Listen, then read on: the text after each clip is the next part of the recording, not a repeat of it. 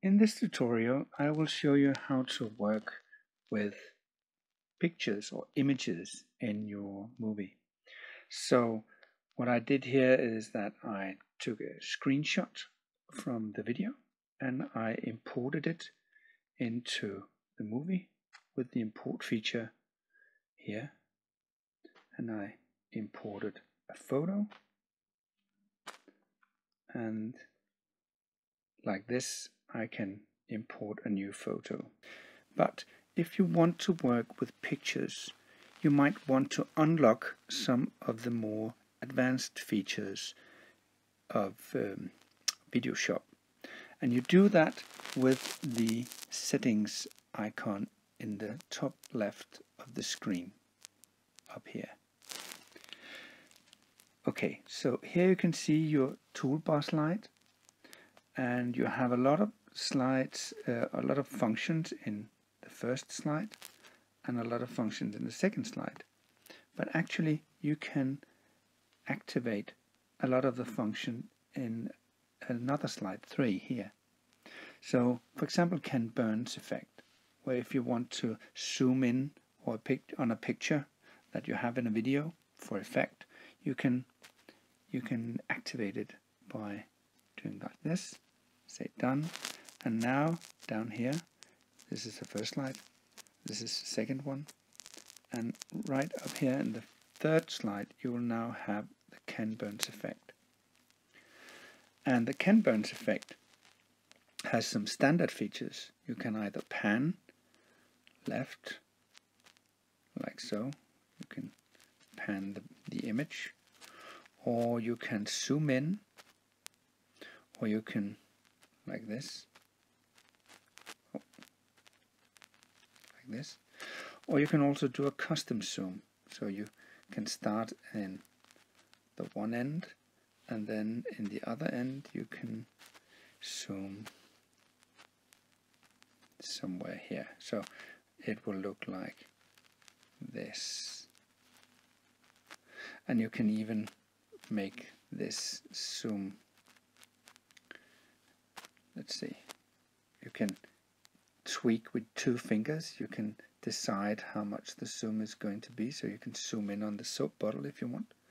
And if you are in the full picture at the end beginning of the zoom you can just slowly see that it will zoom in on the soap bottle like that.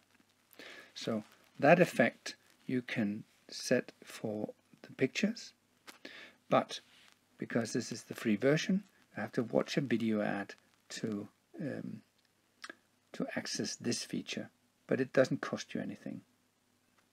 Just the other thing that you can do is that you can use transitions between videos clip, video clips and also between videos and images. So if I have a transition between two clips here I can go to my first video slide here and choose transitions down here.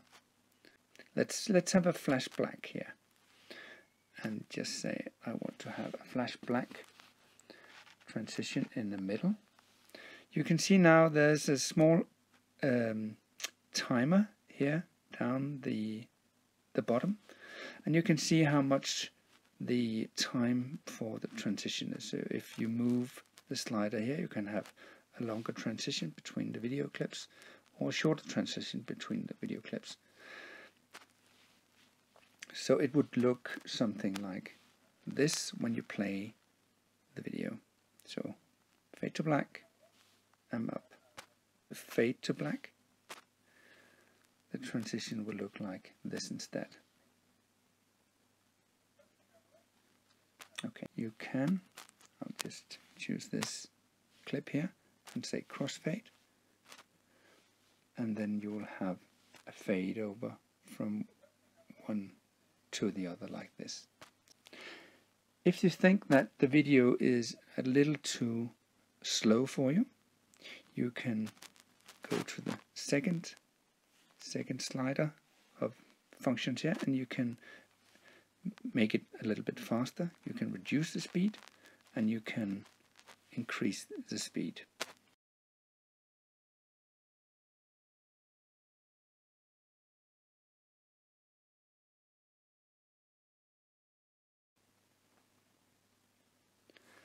Alright, now you can see that this last video bit will have been speed up, sped up by 2.5 times and you can see how this looks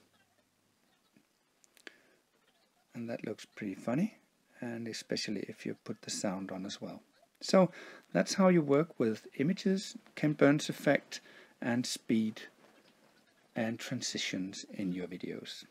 Have fun.